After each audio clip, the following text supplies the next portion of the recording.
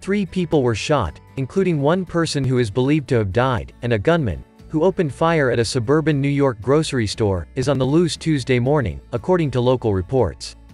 The incident happened at the supermarket in the Cherry Valley Shopping Center at around 11 a.m. Are we good on this set? Is everybody ready? All right, Commissioner of Police Patrick Ryder is going to give you the details of the incident that occurred today. So we're to Stand by. We're getting here. Commissioner? Come to us.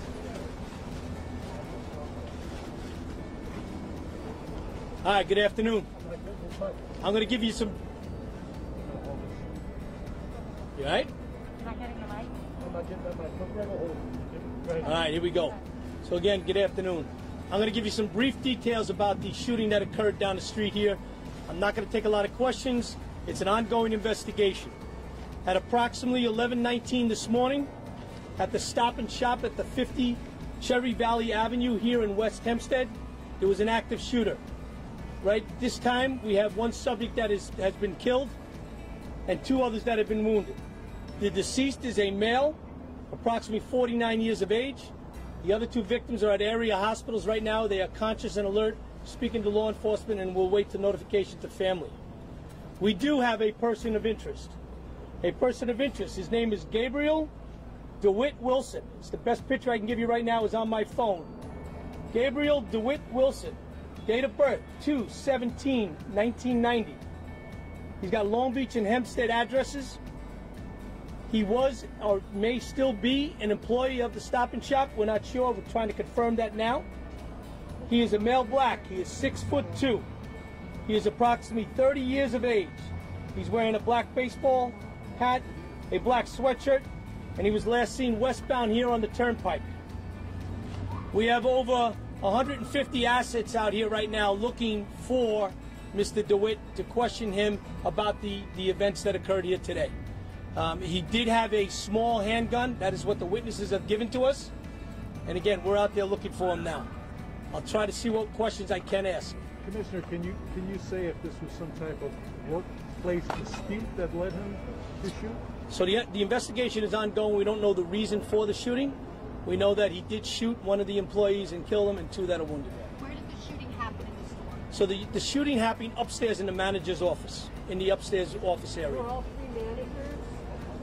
I don't have that information at this time. And he definitely at least worked there at some point, right? He did at least work there one time. We're not sure if he's still employed by them at this time. Did he say anything? Were any words exchanged? Uh, we don't have that. Still ongoing. Were any of the shoppers threatened? Still ongoing. We probably had a couple of hundred shoppers in the store at the time. You saw the line trying to get out. We stopped the question to make sure we have anybody that was a witness. Their information is being given to our homicide unit who's doing the Is investigation. he considered armed and dangerous? If the public sees him, what are they supposed? Absolutely. So, so, so this is a person of interest. That person of interest, we believe, is the shooter.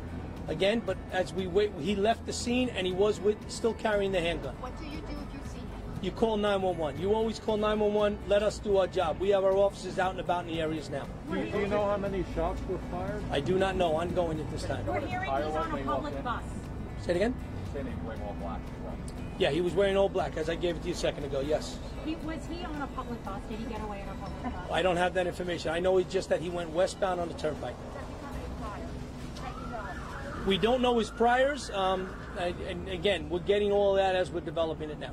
But was there a plan in place for if an active shooter is ever in this store? What happened? What type of protocols were followed? So, so the protocols and what to do in an active shooter always are designed sometimes on on the fly. But from our standpoint about what we do and what and what we've done and spoken to many of our critical infrastructure um, stores here in, in the county, is we tell them what to do in the event of an active shooter. And again, it's always calling 911 first and get that description out. Was this office an area that only he he would have known? People who worked in the store would know. I, I did not walk into the crime scene, so it's still ongoing. Who called 911? I don't have that at this time. No, I do not. There's still victims. We have to notify families. So what happened? People just all started running at once? I don't have any of that. I wasn't there at the time. But again, this is ongoing. It's active. We'll get back to it more. Thank you. Thank you. Thank you. Thank you. Everybody stay here. We're going to keep you updated as the day progresses. I'm going to get the picture out. It's going to be coming from my office. Uh, I'll get that all distributed so you can put it out there. Thank you.